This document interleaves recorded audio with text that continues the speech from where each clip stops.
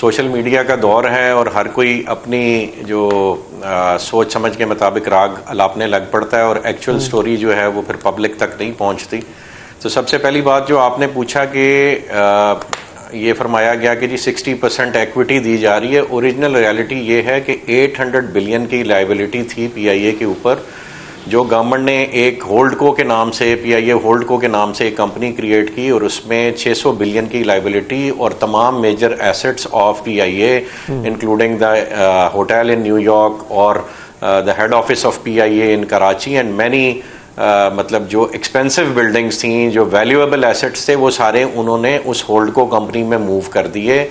जो कंपनी ये ऑफ़र कर रहे थे फॉर बिडिंग उसकी देन अगेन 200 बिलियन की लाइबिलिटी थी और 150 बिलियन के करीब वो क्लेम कर रहे थे एसेट्स यानी उनके मुताबिक यानी अर्नेस्ट यंग जो कंसल्टिंग उन्होंने हायर की जिसने सेवन मिलियन डॉलर की फ़ीस ली सिर्फ़ ये बहुत इंपॉर्टेंट पॉइंट है कि सवा दो अरब रुपया उसको फ़ीस पे केगी पीआईए का मेकअप करने के लिए उसको इस काबिल बनाने के लिए कि इंटरनेशनल बिडर्स और लोकल बिडर्स उसमें इंटरेस्ट लें और वो किस हद तक कामयाब हुए ये सारी दुनिया के सामने है।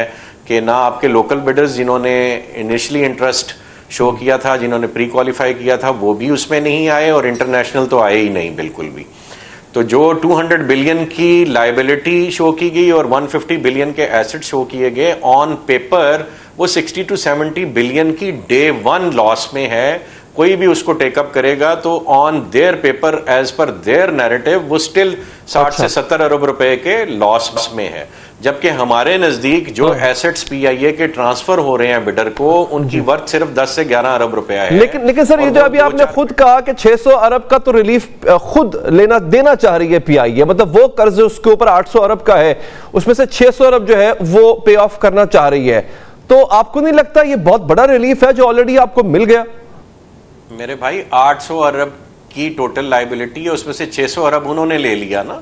200 अरब फिर भी जो ए, वो हमें कंपनी दे रहे हैं उसकी अभी भी लाइबिलिटी 200 अरब स्टैंड कर रही है। हम्म, हम्म। और जो इन्होंने लाइबिलिटी ली वो बैंक्स के कर्जे हैं वो रिस्ट्रक्चर हो सकते हैं। जो हमें लाइबिलिटी दी है वो प्राइवेट जो सर्विस प्रोवाइडर्स हैं या कई गवर्नमेंट्स के सर्विस प्रोवाइडर्स हैं जो फॉरेन गवर्नमेंट्स हैं या फॉरेन सिविल एविएशन अथॉरिटीज़ हैं सऊदीया की सिविल एविएशन अथॉरिटी है उनके पैसे हैं वो आप नहीं देंगे तो वो रूट्स भी बंद हो जाएँगे।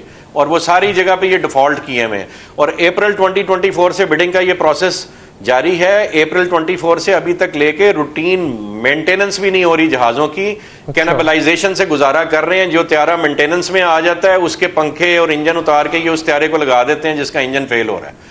तो इस तरह से इस वक्त एयरलाइन आपकी चल रही है और इसकी लाइफ सिर्फ़ दो तीन महीने रह गई है। मार्च में ये जा रही है। खुदा हाफिज टाटा बाय बाय हो जाएगी पी आई अच्छा अच्छा रूजवेल्ट होटल जो है वो भी आपको मिलेगा सर अगर ये डील हो जाती है तो? नहीं भाई वो वो होल्ड को कंपनी में इन्होंने ट्रांसफ़र कर दिया। जिस कंपनी में 600 बिलियन की लाइबिलिटी ट्रांसफ़र की है रोजोवेल्ट होटल भी उसी में ट्रांसफ़र कर दिया वो नहीं दे रहे। उसकी बोली ये बाद में लगाएँगे उसके पर खच्चे बाद में उड़ाए जाएँगे। अच्छा अच्छा। अच्छा सर प्लान क्या है साहब आपका? कि किस किस तरह से आप प्लान जो है वो आप कर रहे हैं, इसको रिवाइव से करेंगे? तो देखिए, एक सफ़ेद हाथी तो है। तो आपने इसको जब एक्वायर करने, अगर अगर आप कर लेते हैं तो इसको रिवाइव करने का, इसको प्रॉफिट पे लाने का प्लान क्या है? अली भाई पीआईए के साथ कोई मसला नहीं है। पीआईए का मसला हमारे मुल्क का कैरेक्टर है और यहाँ पलने वाले सरकारी अफसरों और पलने वाले पॉलिटिशियंस और जिस जिसके हाथ में डिसीज़न मेकिंग है, उसका करेक्टर है। जब आपका सारा मुआरा करप्शन बेस्ड होगा तो उसका नतीजा पी आई ए जैसा फेलियर होगा। उसका नतीजा जैसे लाहौर में इस वक्त स्मॉग का इशू है। हम अपने मुल्क के बारे में सीरियस ही नहीं है किसी रिस्पेक्ट में।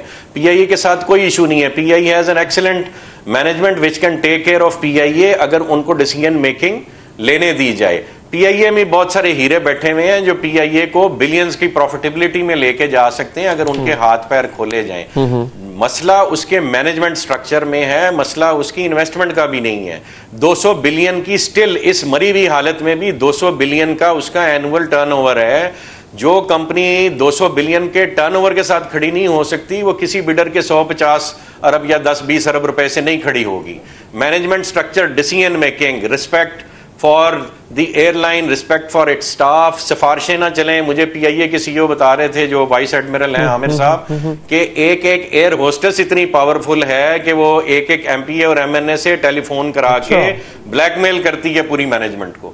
तो जहाँ ये मैनेजमेंट स्ट्रक्चर होगा वहाँ एयरलाइन ही पूरा मुल्क ही नहीं चलेगा। आपको मुल्क का और एयरलाइन का एक बाप बनाना पड़ेगा वो आप जिसको मर्ज़ी बाप समझे। एक डिसीज़न मेकर होगा और वो मुल्क के लिए दर्द रखता होगा। तो वो नीचे जो हुक्म देगा वो इंप्लीमेंट होगा। सिंगल यूनिट कमांड होनी चाहिए।